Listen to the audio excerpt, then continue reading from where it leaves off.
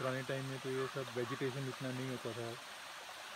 तो पत्थर ही पत्थर दिखते थे, इतना चौड़ा खड़ था ये भी रीजनेबली